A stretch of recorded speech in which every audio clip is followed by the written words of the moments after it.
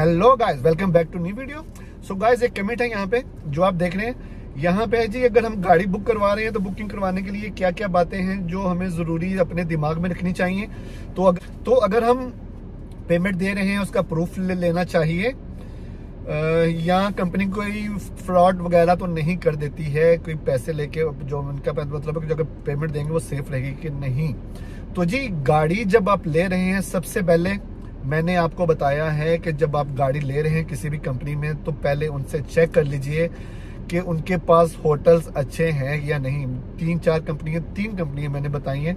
पहले दिन से मैं उसी कंपनियों के बार बार नाम ले रहा हूँ। Private limousine royal smart limousine और सलाम लेमोजिन ये तीन कंपनियाँ ऐसी हैं जिनके पास बहुत ही अच्छे होटल्स हैं और काफ़ी देर से ये होटल्स इन्हीं के साथ काम कर रहे हैं और अच्छी कंपनी और अच्छा नाम है इनका यहाँ पे जो बिज़नेस कर रहे हैं। तो ये कंपनी होगी जी, आपने जो दिमाग में चीज़ें रखनी है, सबसे पहले उनके पास होटल्स कौन कौन से हैं और कितनी कितनी देर से काम कर रहे हैं और कितने हैं? सबसे पहली चीज़ होटल्स आपने जो है, वो जहन में रखने हैं कि कितने अच्छे होटल्स और कितने होटल और कितनी देर से उनके साथ काम कर रहे हैं, पहली चीज़। दूसरी चीज़ जो है, आपने उबर करीम जो है उबर करीम की जो पेमेंट आती है, उसको अपने अकाउंट में वो पेमेंट मंगवानी है।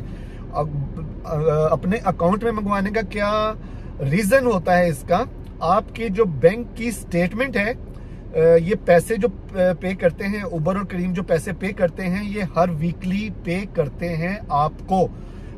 आपने एक वीक में जितना भी काम किया एक वीक के बाद आपके अकाउंट में वो पूरे हफ़्ते की पेमेंट आ जाएगी उबर की भी और करीम की भी। एक वीक में दो अमाउंट आई आपके अकाउंट में, दूसरे वीक में फिर दो अमाउंट आई आपके वीक में, तीसरे, चौथे, इस तरह एक महीने में चार दफ़ा ट्रांजेक्शन हो जाएगी आपके अकाउंट में। आपके पास एक इनकम प्रूफ आ जाएगा कि आपके अकाउंट में उबर और करीम से पैसे आ रहे हैं। मल्टीनेशनल कंपनियाँ हैं ये उबर और करीम ये जब आपको पे कर रही है तो आपको कोई सैलरी सर्टिफिकेट कोई किसी और चीज़ की ज़रूरत नहीं है अपनी कंपनी के साथ। आप बता सकते हैं, किसी भी जगह पे आप जाते हैं होम लोन के लिए पर्सनल लोन के लिए क्रेडिट कार्ड के लिए, या अपना वीज़ा वगैरह अप्लाई करने के लिए तो आपके पास इनकम प्रूफ है, अपने जो आपकी स्टेटमेंट बैंक की है, सबसे बड़ा प्रूफ है कि जी मुझे महीने में चार दफ़ा पेमेंट आ रही है उबर और करीम के साथ।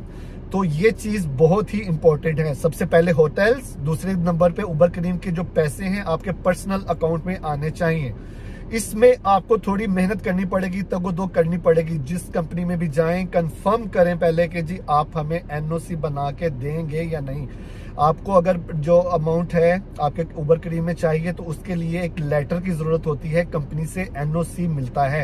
ये चीज़ पहले क्लियर कर लें, अगर हो सके तो उबर करीम उबर करीम को देने के लिए एनओसी अलग से एडवांस में ही बनवा के अपने पास रख लें कि जब आपकी गाड़ी आएगी तो आपके पास एनओसी हो और सीधा लेके वहाँ पे जाएँ। उबर करीम के पास कीजिए मेरा एनओसी मेरी कंपनी ने मुझे दिया है तो मैं अपने अकाउंट में पैसे ट्रांसफ़र करना चाहता हूँ। दो चीज़ें होटल्स जो लेमोजिन के पैसे आपके अपने अकाउंट में, तीसरी चीज़, जो जी बड़ी कंपनी में आपको बता रहा हूँ, यहाँ पे तो पता करने की भी ज़रूरत नहीं है, बहुत ही बड़े पैमाने पे बिज़नेस है इनका। अगर आपका इन कंपनियों में होता है तो फिर तो कोई उसी से पूछने की ज़रूरत नहीं है कि ये कंपनी कैसी है, मैं पैसे दे रहा हूँ, यहाँ पे सेफ़ है, नहीं, कोई कोई चीज़ भी फिर भी जब आप पेमेंट करें, किसी भी कंपनी को जब आप पेमेंट कर रहे हैं तो वहाँ से रिसीविंग ज़रूर ले लें एक्नोलेजमेंट ले लें कंपनी के लेटर हेड के ऊपर होना चाहिए। ये कंप्यूटर का प्रिंट निकाल के आपके हाथ में थमा दे, ऐसा नहीं होना चाहिए। बकायदा कंपनी का लेटर हेड होना चाहिए, जिसके ऊपर आप रिसीविंग लेंगे उनसे। और हमेशा कोशिश कीजिए कि जो पेमेंट कर रहे हैं, वो चेक की सूरत में कीजिए। कंपनी के नाम का चेक लिखिए, ऊपर चेक लिखिए कंपनी का नाम लिखिए। जब आप पेमेंट करेंगे तो कंपनी का नाम ऊपर मेंशन होना चाहिए, उसकी कॉपी लेके अपने पास रिकॉर्ड में रख लें। और जब रिसीविंग लेंगे, उस अमाउंट की, उस चेक की रिसीविंग लेंगे, वो जो कंपनी का लेटर हेड है, उसके ऊपर चेक नंबर लिखे। आप जो अपना चेक दे रहे हैं, वो चेक नंबर लिखा होना चाहिए उस कंपनी की डिटेल लिखी, और लेटर हेड होगा, उस कंपनी की डिटेल सारी ऊपर होगी। जो अमाउंट आपने दी है चेक जिसका काट के दिया है, वो वाला साथ में उसकी जो कॉपी है, वो भी साथ में लगा लीजिए।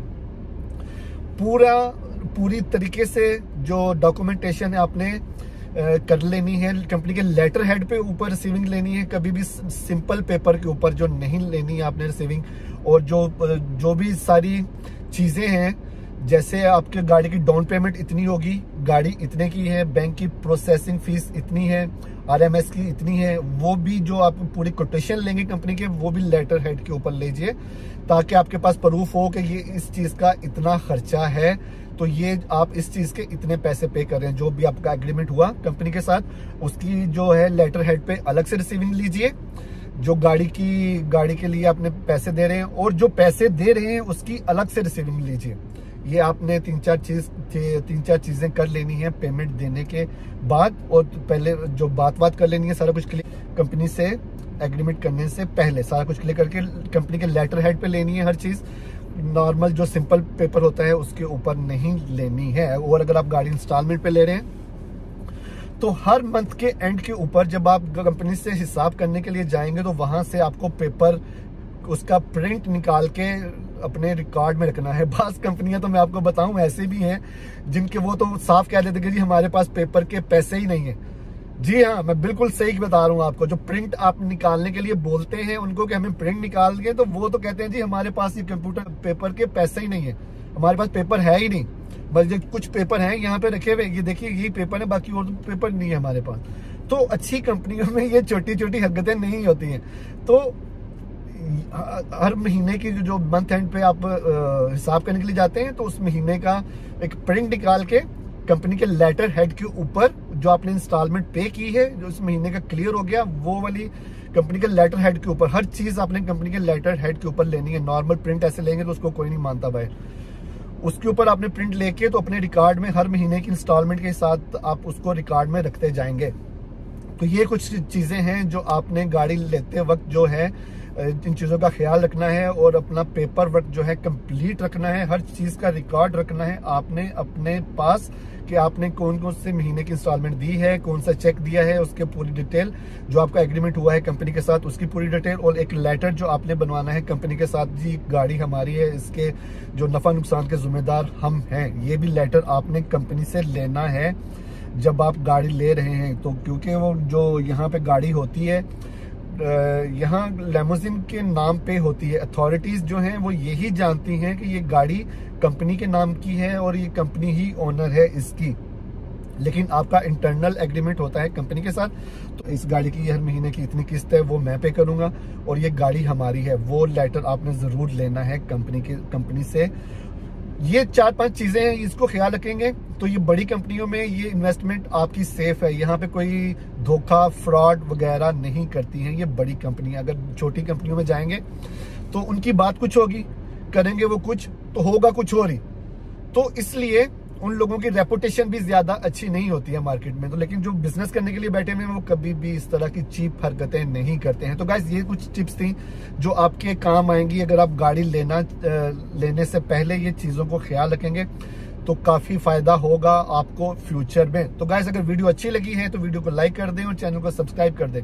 और आने वाली नई वीडियोस के लिए देखते रहिए। शहबाज हुसैन दवा कीप वॉचिंग